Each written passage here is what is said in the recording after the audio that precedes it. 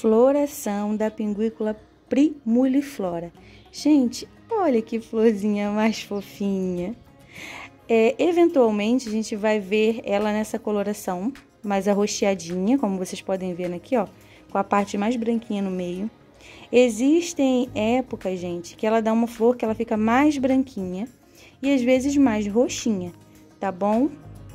Mas essa florzinha aqui, ó, com pétalas em forma de coração. Olha que coisinha mais fofa. Essa plantinha, gente, é uma plantinha que se reproduz de forma muito fácil, é tanto por semente. Normalmente ela se autopoliniza, sempre tá dando semente, tá? E é uma plantinha, é uma pinguícola que é um pouquinho diferente das demais, né? A gente consegue cultivar ela no sol e com bandeja de água, ou seja, você consegue cultivar ela junto com as dioneias, com as sarracenes, tá? Essas gotinhas que vocês estão vendo aqui que parece areia ou parece purpurina, não sei, é tudo mucilagem, gente. Tá num período aqui de mucilagem incrível, como vocês podem ver, cheio de insetinhos, tá? Aqui o brotinho da outra flor que tá vindo, bem branquinha, tá vendo? E depois ela pega essa coloração aqui, ó, mais roxinha.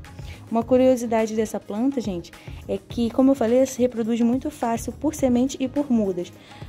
Toda folha que entra em contato com o substrato, ó, já dá pra ver aqui, né, gente, ó, ela dá mudinha. Então, assim, a folha encostou no substrato, ó, mudinha saindo, não é legal?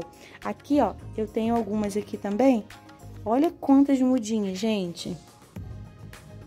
Olha essa daqui. Ela encostou e deu muda.